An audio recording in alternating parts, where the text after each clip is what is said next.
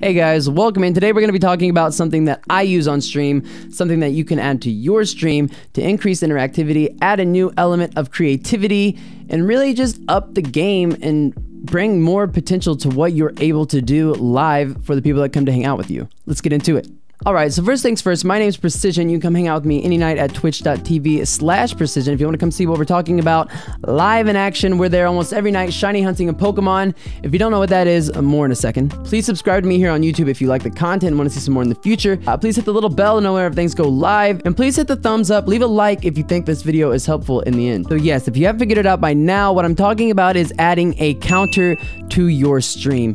Now for me, I'm a shiny hunter. We do this in Pokemon. You run around in grass and, there's a chance that the Pokemon you encounter will be colored differently than the standard Pokemon. So for my streams, what a counter does is it allows me to keep track of every encounter leading up to the shiny Pokemon. This allows me to kind of stay grounded in reality. You know, the, uh, you know, the little top, the thing that they have in Inception, whenever it stops spinning, he knows that he's awake. Whenever I can look at my counter and see where I'm at, I know that I'm just being insane and and there's really no other reason. Anyway, moving on. Ways you can use your counter are unlimited. It's a counter, dude. Come on. You can count deaths. You can count achievements. You can count drinks. Be that creative guy for yourself. I'm here to show you how to use the counter. It's so easy. How to use multiple counters. It's so easy.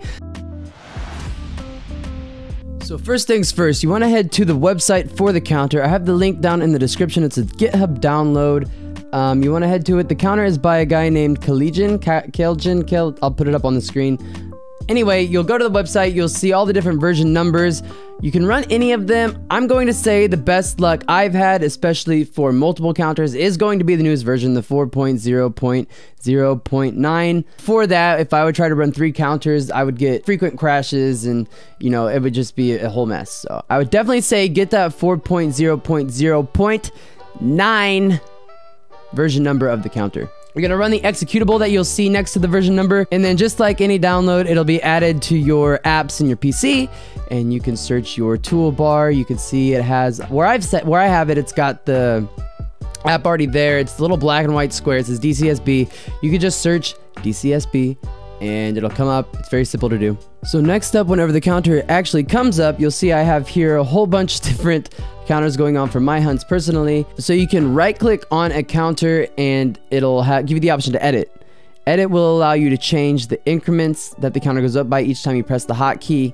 Uh, I have these set for two as you can see. And then you'll also see a file, like a, like a browse, like you'd see when you're uploading an image, like a profile picture. Like you'll see the browse, all right? That's actually going to be what connects this counter to your stream. It's very important. You'll want to go to your desktop. I'll show you in a second. You want to go to your desktop, add a text file, and select that text file to this to the counter that you're specifically working with, and it'll write to that file as you count up, and you'll just see how that works here in a second. So once I've edited a counter and selected the text file that I'm going to be writing it to, you can go up to the settings part of the counter and it will allow you to set your hotkeys. For this first counter, you just want to press, you know, whichever keys you're working with. There's a whole bunch of other things you can mess with. I've never messed with any of them. And then the most important thing is once you've set those hotkeys, you can do it by clicking the little dots next to the line and then just pressing the button on your keyboard and that's how it sets. But once you've actually set these hotkeys and you go back to your counter, you want to make sure to click on the the actual count again, your zero or wherever you're starting from to make sure that the program knows that's the one you are working with. Otherwise, it'll just like not do anything. You need to, it basically activates that cell. As you can see, it's very important to activate the cell because if I accidentally click on another one, uh, I can make the counter work that counter and it will just throw everything off for a little bit. So that's not good. But this also poses the question, wait a minute.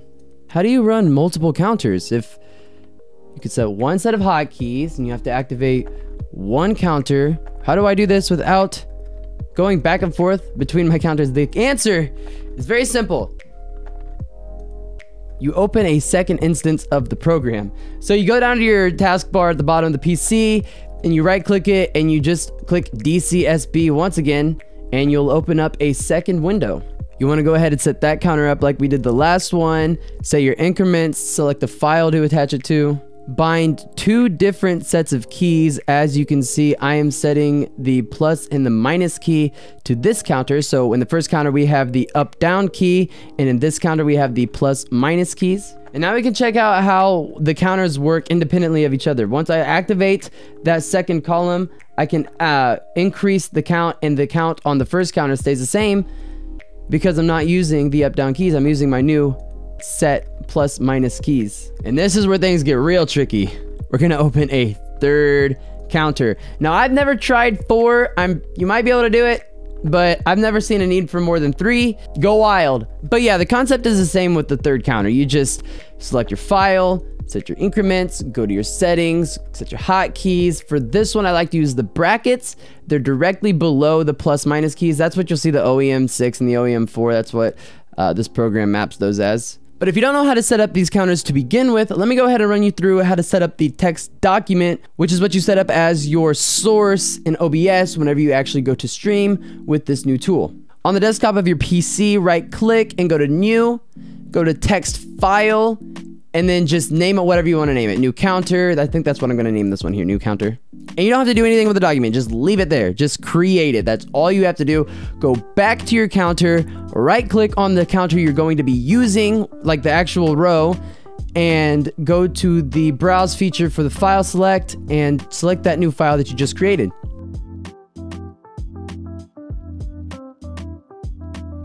Alright, so now I'll show you how all of this comes together and works inside of your OBS broadcasting software. I use OBS. I'm going to show you how this works in Streamlabs to show you how it can work in any of them. I'm sure it works in Stream Elements if that's what you use. It'll be basically the same thing, I'm sure. So down there in your sources, you want to go to the add button and go ahead and select a text source. Select to add the new source, go to your files, and go to the document that you just created and linked to the counter. That easy. Just create a text source. Once that is done, you can go ahead and set your fonts, your you know, your thickness, the color, any of that. You can mess with it here, and then it'll come into your OBS screen as like an actual number. Like it just it's just there. If you've never counted anything before, you'll see a zero. Go ahead and play with it. Use up, use down, use plus, use minus, whatever you have set. You'll see the number change as you move. There's a slight delay, but it's just the programs working with each other. But it's just like anything you would have in OBS. You can increase the size, decrease the size, move it around.